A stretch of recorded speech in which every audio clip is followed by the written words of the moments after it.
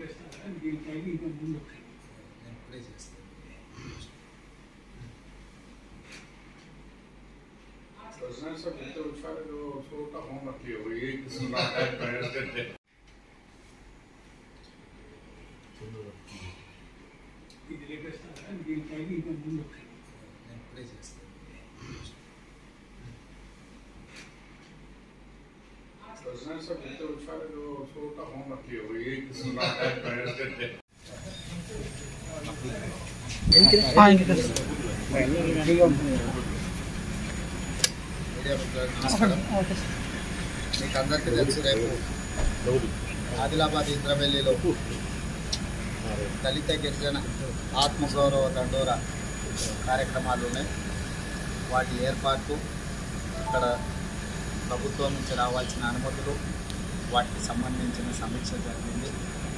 రేపు జరగబోయే ఈ దళిత గిరిజన ఆత్మగౌరవ దండోర సభను దిగ్విజయం చేయాల్సిందిగా కాంగ్రెస్ శ్రేణులకు ముఖ్యంగా ఆదివాసీలకు గిరిజనులకు అందరికీ మేము విజ్ఞప్తి చేస్తున్నాం.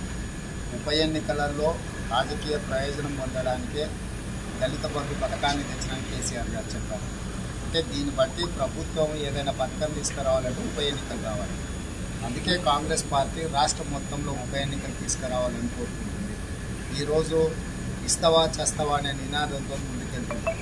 కాంగ్రెస్ పార్టీ ప్రజల తరఫున కొట్లాడుతుంది. టీఆర్ఎస్ ఎమ్మెల్యేలు ప్రతి దళిత గిరిజన ఆదివాసీ కుటుంబాలకు పది లక్షలు ఇప్పియనని ఇప్పియాలి లేకపోతే స్థానికంగా శాసనసభ్యులు రాజీనామాలు చేస్తే ఉప ఎన్నికలు వస్తే ఉప ఎన్నికలు వస్తే ప్రజలకు ప్రయోజనం ఉంటుంది ఏడు సంవత్సరాలు దళిత ఆదివాసీ గిరిజనులను మైనారిటీలను మభ్యపెట్టి ప్రకటనలు గొప్ప గొప్పగా చేసి వాళ్ళందరినీ వంచించిండు దళిత ముఖ్యమంత్రి కావచ్చు ఉన్న ఉప ముఖ్యమంత్రిని తొలగించడం కావచ్చు మూడు ఎకరాల భూమి విషయంలో కావచ్చు డబుల్ బెడ్రూమ్ ఇళ్ళ విషయంలో కావచ్చు ఉద్యోగాల విషయంలో ఇట్లా ప్రతి దగ్గర దళిత గిరిజనులను కేసీఆర్ గారు మోసం చేసిండు ఈ మోసానికి గుణపాఠము జవాబు చెప్పాల్సిన బాధ్యత ప్రతి ఒక్క తెలంగాణ ఉద్యమకారుల మీద పౌరుల మీద ఉన్నది.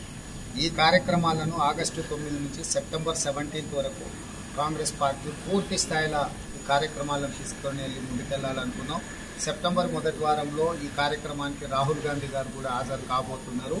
ఈ కార్యక్రమాలను అన్నింటినీ సమీక్షించుకోవడానికి ఏఐసిసి కార్యక్రమాల కమిటీ చైర్మన్గా మహేష్ రెడ్డి గారు ఉన్నారు. షబ్బీర్ అలీ గారు పెద్దలు దయాసాగర్ గారు మేమందరం కూడా ఈ భవిష్యత్ కార్యాచరణకు సంబంధించి ఈ అంశాలను చర్చించడం భవిష్యత్తులో ఇంకా తీసుకోబోయే కార్యక్రమాలను మండలాల వారీగా నియోజకవర్గాల వారిగా పార్లమెంట్ల వారిగా లేదా పాత జిల్లాల వారీగా కార్యక్రమాలను ఏ విధంగా ముందుకు తీసుకెళ్ళి కేసీఆర్ మీద టీఆర్ఎస్ ప్రభుత్వం మీద ఒత్తిడి చేయాలి పోరాటం చేయాలి అనేది చర్చించుకున్నాం. రేపటి సభ నూటికి నూరు శాతం దిగ్విజయం అవుతుంది ఈ ప్రభుత్వం మీద ఒత్తిడి తీసుకొచ్చి దళితులకు గిరిజనులకు ఆదివాసీలకు మైనారిటీలకు మేలు జరిగే విధంగా మా పోరాట కార్యాచరణ ఉంటుంది.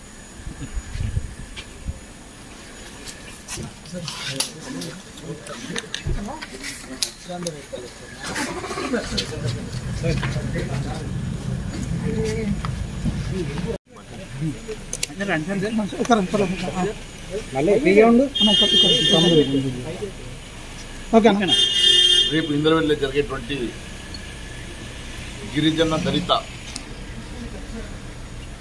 దండోరా కార్యక్రమాన్ని విజయవంతం చేయాల్సిందిగా కోరుతా ఉన్నాం.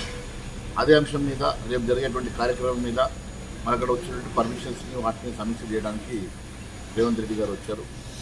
మరి దాంతోపాటు ఇంకా ఈ రాష్ట్రంలో తీసుకోవాల్సినటువంటి దండోర కార్యక్రమాలు దాదాపు నాలుగైదు ఇలాంటి బహిరంగ సభలు మరి ఎక్కడెక్కడ పెడితే బాగుంటుందన్న అంశాలు కూడా వారు చర్చ చేయడం జరిగింది. మరి ఖచ్చితంగా రేపు జరిగేటువంటి ఈ కార్యక్రమం పెద్ద ఎత్తున విజయవంతం జరుగుతుంది. యావత్ ఉమ్మడి ఆదిలాబాద్ జిల్లాలో అన్ని నియోజకవర్గాల నుంచి పెద్ద ఎత్తున జమ సమీకరణ.